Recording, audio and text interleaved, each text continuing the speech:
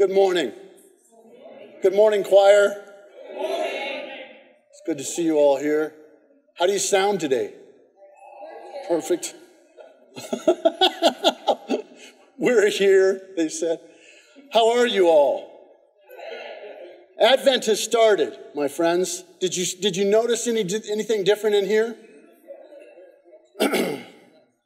I have been fully indoctrinated on how to put those banners up now.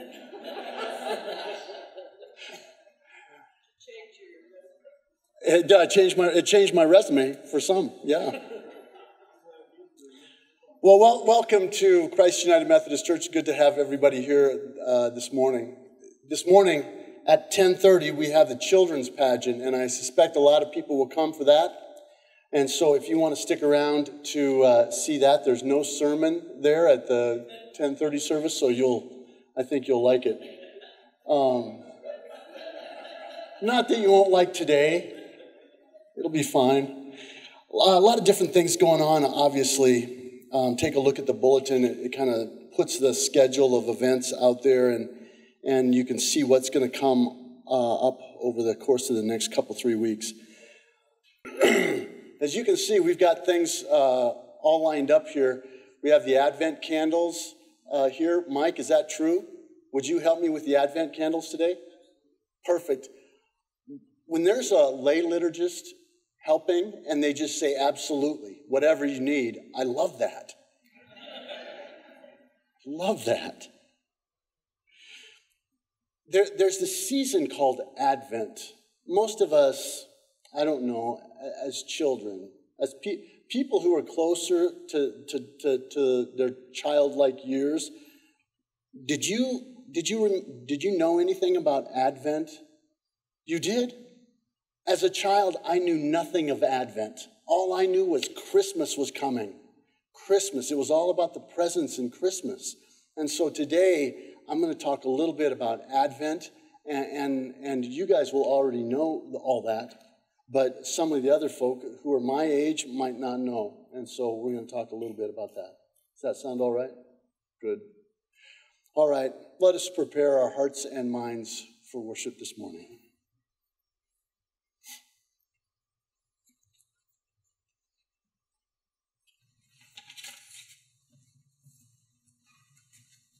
Good morning. Please rise as you are able and join me in the call to worship. We hear the promise of the coming of Jesus into a manger and into our hearts and our homes. May our worship be filled with the anticipation of the peace given to us by the Prince of Peace.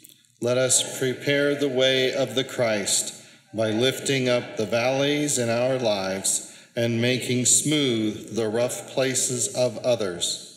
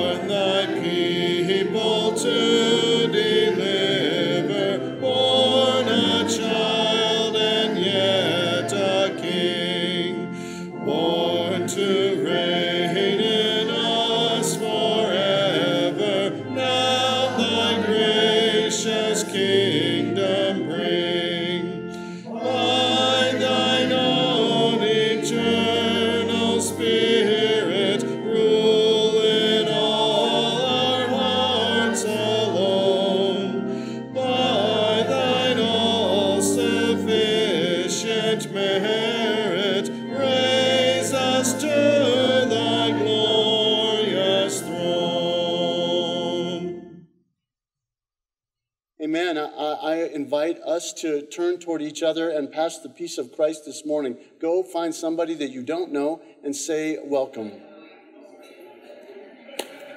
All right.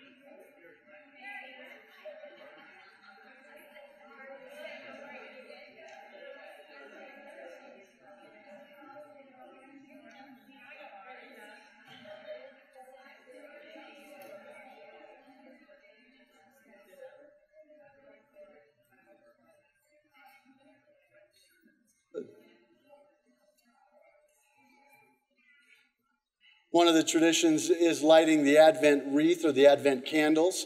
And so Mike is going to help me out with that. And uh, I invite you to go ahead and read along in your bulletin as we go through.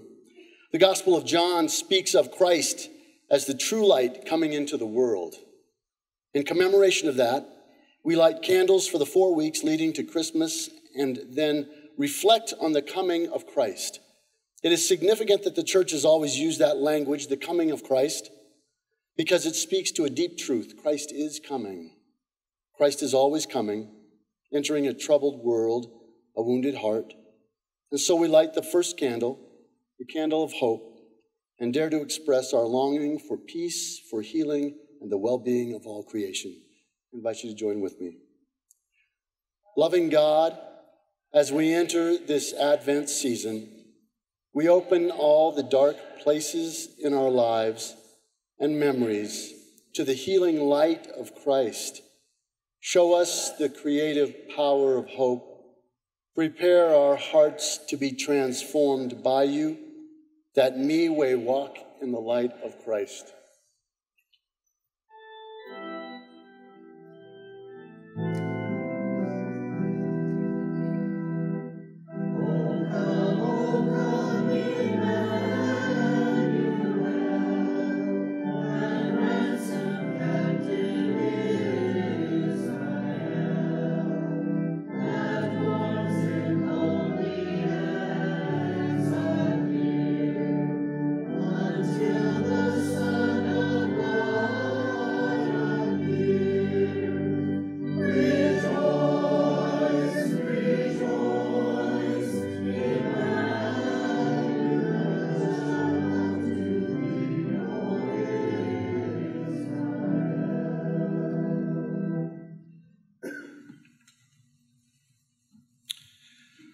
Please join me in the unison prayer.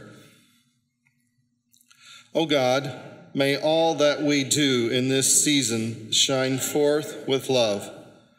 Let the love and peace of Christ be seen in our actions toward others, heard in the conversations we have with friends and strangers, and experienced in the unfolding moments of each day.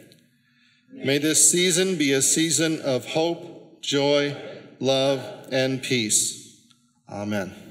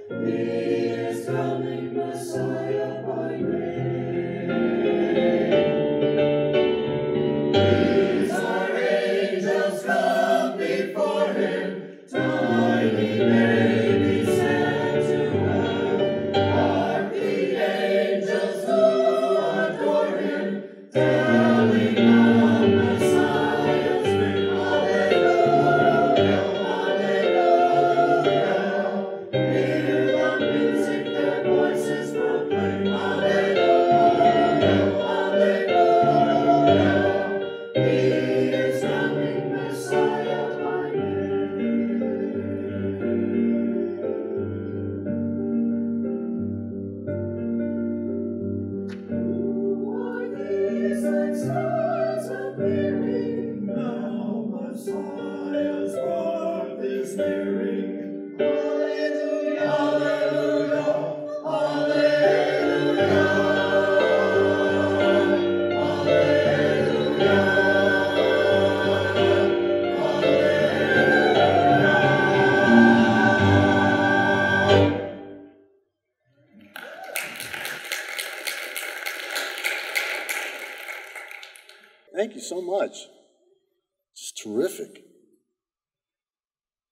Hard as it is to believe for me, we have made it into December. Just a moment ago, it was Thanksgiving, it seemed like. It has come and gone. Right after last week's service, several people stayed and took down all the, the Thanksgiving decorations that we had up and put it all away to be stored for next year. And then we got out all the Christmas decorations. The Christmas trees were put up, of course, down the hallways and, and, and in the narthex in the chapel.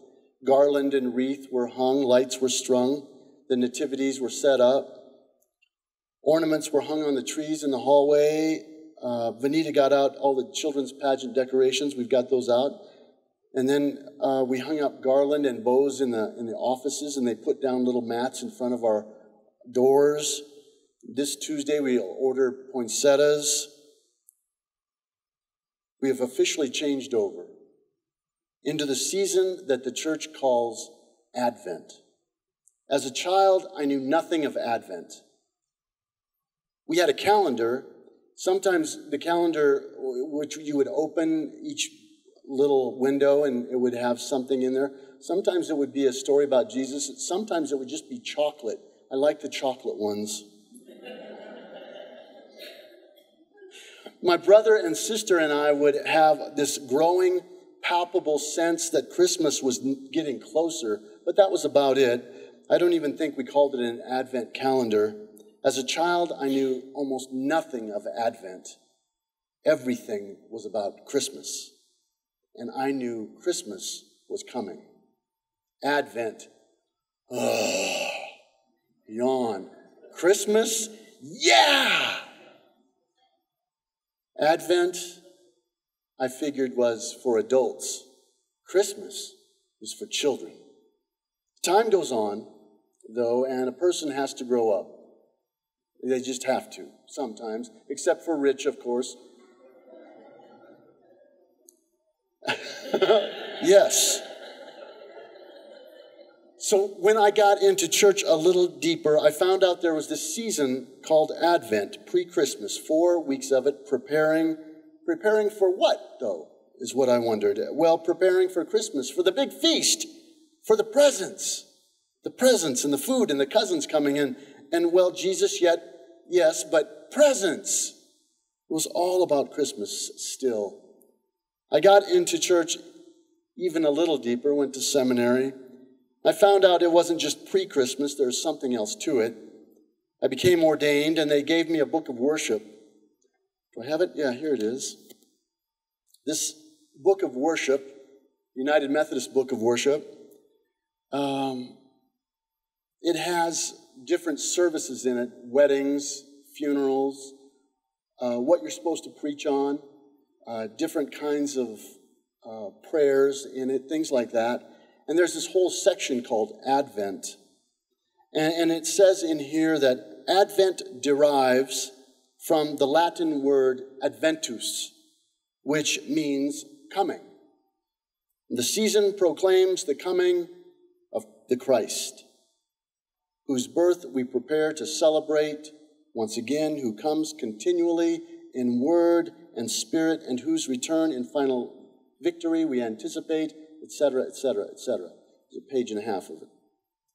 This morning, we are going to look at this season of preparation. We are adults, most of us. Eh, we can do it. We can do it. Maybe we'll not just look at Advent, maybe we will actually begin to prepare. Would you pray with me? O God, may the words of my mouth and the meditations of all our hearts help us to prepare for the season called Advent. Amen. Now, Mike and I uh, are going to read the scripture this morning. Uh, we're going to do it together. Is there room enough in here for us both? I think we can do it. Um, I, I ask you to listen for the similarities in these two pieces of scripture. You can go ahead and take your Bibles out if you want to and follow along. Uh, you'll find that Isaiah comes before Micah in the Old Testament, and, and uh, there's, there's a number of books in between Isaiah and Micah. But if you want to read one of them, that's fine, uh, along with it, because you'll, you'll hear some similarities. But uh, Mike, I, I'm going to have you read the Micah text. Is that, that makes sense to me. I, I thought so. And so if you'll just read one line, and then I'll read a line that's like it in Isaiah, and we'll see if you can hear the similarities. Go, you go ahead and go start first. Okay, this is Micah chapter 4, verses 1 through 3. In days to come, the mountain of the Lord's house. And this is Isaiah 2, 1 through 4. In days to come, the mountain of the Lord's house shall be established as the highest of the mountains shall be established as the highest of the mountains, and shall be raised up above the hills, and shall be raised above the hills. People shall stream to it, all the nations shall stream to it. And many nations shall come and say, Many peoples shall come and say, Come, let us go up to the mountain of the Lord. Come, let us go up to the mountain of the Lord. To the house of the God of Jacob. To the house of the God of Jacob that he may teach us his ways. That he may teach us his ways. And that we may walk in his paths. And that we may walk in his paths. For out of Zion shall go forth instruction. For out of Zion shall go forth instruction. And the word of the Lord from Jerusalem. And the word of the Lord from Jerusalem. He shall judge between many peoples. He shall judge between the nations. And shall arbitrate between strong nations far away. And shall arbitrate for many peoples. They shall beat their swords into plowshares. They shall beat their swords into plowshares. And their spears into pruning hooks. And their spears into pruning hooks. Nation shall not lift up sword against nation. Nation shall not lift up sword against nation. Neither shall they learn war anymore. Neither shall they learn war anymore the Word of God for the people of God. Amen. Did you hear any similarities? Some of you, yeah. They're just about identical. Some scholars say that Micah, the prophet Micah, took the words from the prophet Isaiah. And some say vice versa. I don't know which it was. No one knows which it was, really. All I know is that somebody was doing some pretty heavy duty plagiarizing, weren't they? There are reasons to copy somebody else's work, but you should at least acknowledge that's where you got it from, in my opinion. That's only polite, I think. It is enough for me to remember that Micah came out of a farming or rural area outside of Jerusalem. And Isaiah was from the city. So imagine, if you will, farm people and city people living different lives. Can you imagine that? Yeah. In the worlds they envisioned, Micah, who was from the rural area, the farming communities, he was all for the city of Jerusalem to be destroyed and wiped off the face of the map. That's where he thought trouble was. Think about for us, maybe, what would it feel like if Washington, D.C. was wiped off the face of the map? For some of us, good. Yeah. So Micah was all for Jerusalem being wiped off. But Isaiah, Isaiah, on the other hand, being from the city, he felt that the city of Jerusalem would be where the Davidic kingdom would rise again to take over power from the Romans. So he had this special kind of elevated idea of Jerusalem where Micah did not. But this I do know. They both thought it was important to add this piece of text to their books or their writings. This I do know also that those words have become very well known, whether it was Micah or Isaiah who penned them first. The words sound like this They shall beat their swords into plowshares and their spears into pruning hooks. Nation shall not lift up sword against nation, neither shall they learn war anymore. That's just flat out good stuff. That is a hopeful, peaceful future.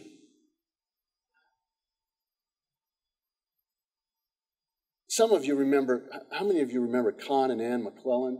Do any of you remember? Some of you remember Con and Ann. They, they were associate pastors here in Salt Lake City, and, and they, uh, Ann served here. I don't know if Con served here or not, but Con did too? Okay, so they came from uh, a, a, school of theology called Candler, which is in Atlanta. And it's uh, on, the, on the University of Emory, Emory University in Atlanta. And one of their professors' name was Gene Tucker. Gene Tucker is a retired Old Testament professor from Candler School of Theology.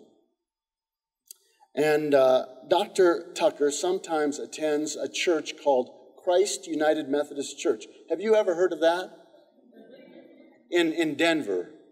But that's the Christ United Methodist Church in Denver. And I know uh, some of the pastors who have served at Christ United Methodist Church in Denver, and they said whenever retired Dr. Tucker was in the congregation, they would have to be especially on their toes when it came to how they interpreted and talked about Old Testament texts. And so Dr. Tucker wrote the commentary for the book of Isaiah in the New Interpreter's Bible, which came out a few years ago. He did the commentary for the book of Isaiah, chapters 1 through 39 which was part of what I read today.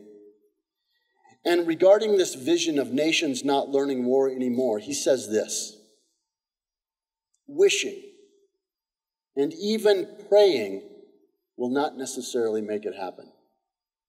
But it will certainly not come unless we imagine it, unless we believe and articulate the vision that God wills the end of war.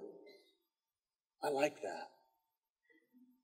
I like the idea that it's never going to happen unless we believe and articulate the vision.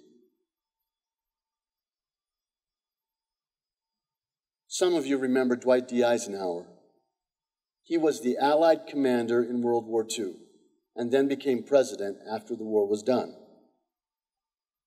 Those are obviously important titles, but his family felt that his most important legacy was found in a speech called A Chance for Peace was given in April of 1953, eight years after the war was over, a month after Joseph Stalin, the Russian dictator, had died. And Eisenhower said in his speech, talking about the amount of money being spent on the military, he said this Every gun that is made, every warship launched, every rocket fired signifies, in the final sense, a theft from those who hunger and are not fed, those who are cold and are not clothed. General Eisenhower, President Eisenhower, articulated the vision for a more peaceable future. But in the 65 years since that speech was given, the vision, unfortunately, has not come into fruition. But that doesn't mean that we let go of the vision. The early church had a vision that Christ would return. In fact, in some places, it was a white hot fever. It was called the Parousia, which translated into Latin becomes Adventus, which, when anglicized, becomes Advent. Those early communities thought that Jesus was going to come in his return riding on a white stallion out of the clouds with a sword, wreaking vengeance upon the Roman government. Things would be overturned. Jesus was going to lead them to this incredible victory. But time marched on, generations came and went. Jesus didn't come back in the clouds. The fever, of course, cooled. The fever cooled, but sometimes it will become warmed up again when the folk who believe that that story of Jesus coming in the clouds is the way that it's going to be. So they'll make predictions, end of the world predictions. Some people will eat that stuff up because for them, I learned this a few years ago, for them, and I always had, I always made fun of it. I was made fun of that end of the world stuff. But I read somewhere along the line that the people who hold on to that vision are living in a world they believe is made up of tears and tragedy. And that changed my mind about it. And so now when I hear about them and I see who's saying it, I think about all the people who believe it, because sometimes the people who are saying it, they just want to manipulate people. But the people who believe it, who are hoping for that, those are the people that my heart goes out to because they think that this world is a terrible place and they just want to get to the next world, right? Well, for the, ma- the vast, vast majority of us, the story of Jesus coming back in the clouds no longer holds that much sway. That red hot fever has cooled way down for many of us, including me, and maybe that's okay because Jesus coming back in the clouds on a, on a white stallion with a sword, that, that doesn't make much sense to so many of us. What? Instead, instead we wait for something else, something other than that, but we're not quite sure what it is. At least I'm not quite sure what it is. But sometimes, sometimes I think we can catch a glimpse of what it might be when Jesus is here amongst us. The Wednesday before Thanksgiving, I went down to the turkey giveaway at the Walk In Indian Center right across the street from the baseball park. There were about 15 of us from the church, and we joined in with about another 40 or 50 people from different kinds of organizations. And we had this shift where we helped volunteers move the turkeys and other food out of the semis up into the Indian walk in center where people were walking through to get bags of food and a turkey. And I thought to myself, people caring for others, people caring for others, perhaps that is a glimpse of what it might be when Jesus comes. Thursday night, this past Thursday night, about 30 of us came to church and we listened to a presentation from a General Board of Global Ministries missionary. His name was Mozart. He lives in the city of Accra, Ghana. Accra, Ghana is a city of six million people. And, and I was talking to Mozart, and he told me that he got his undergraduate in agriculture, and then he went to India to get his master's degree in animal breeding. And his job for the General Board of Global Missions for the United Methodist Church is to help farmers in Africa implement these practices to improve their farming. And so how, how many of you have, and not the people who, who went there on Thursday night, but how many of you have heard of the plant moringa? Go ahead and raise your moringa knowers. There's two or three people. Any, anybody over there know moringa? I didn't know what moringa was. I have a bag of it in my office. It looks like I might get um, arrested.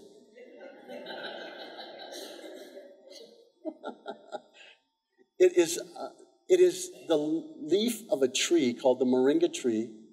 And what they do is, uh, it came from India and it's been brought over to Africa. And they found out that in the leaves of that tree, there are all sorts of nutrients and vitamins. And so they will steep it in tea and drink it, ingest it, and they will put it in um, food, and people will eat it, and their nutrition gets better. And so they've been giving it to um, babies who have been malnourished or undernourished and to other people. They found that their immunological systems um, get stronger. They have found all these different kinds of medicinal aspects out of this, this plant, moringa. And I thought to myself, people's lives being transformed by the simple um, increase in, in having better nutrition is that a glimpse of what it means to have Jesus Christ come from the United Methodist Church? Over the course of these next few weeks, we will have an opportunity to give special gifts to various outreach projects. You've done this before for a number of years. We call it the enchanted tree. I do not know who came up with that name back in 1989, but it is a good one, enchanted tree. It's right out there um, outside the narthex. That enchanted, that word means charmed or delighted. And I think about how we might be charmed or delighted as we see the work those mission dollars do to help people. This morning, if you stay for the 1030 service, I hope some of you will do that. We will see the children in the children's pageant. There is, I think, in all children's pageants, this glimpse that we get of the hope of things to come through their enthusiasm and through their innocence. When we watch them, perhaps our hearts will soften a bit for a moment. I think when our hearts soften and, and, and, we think about the way that the world can unfold in, in good ways, that's, that's what I think this time of preparation is for. To see ourselves and our world in the best light that we possibly can, even in the midst of it all. Isaiah puts it this way O house of Jacob, come, let us walk in the light of the Lord. I invite you to join with me in the Lord's Prayer. Our Father, who art in heaven, hallowed be thy name. Thy kingdom come, thy will be done, on earth as it is in heaven. Give us this day our daily bread, and forgive us our trespasses as we forgive those who trespass against us. And lead us not into temptation, but deliver us from evil. For thine is the kingdom, and the power, and the glory forever. Amen. The closing hymn is Like a Child. I invite you to stand as you are able.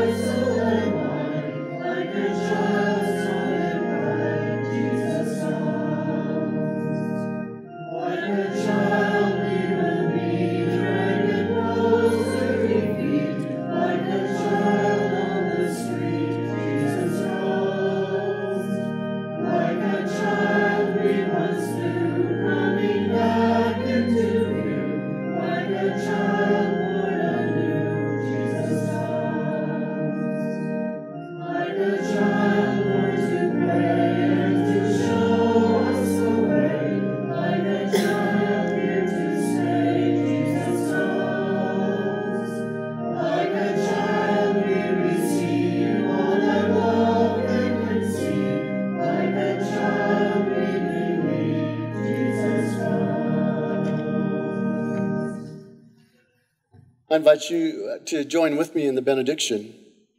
May we serve God with courage and conviction. May we be deliberate and steadfast in putting our faith into action. May we remember to celebrate the Spirit's power, and may peace and generosity and hopefulness be our way in the world. Amen.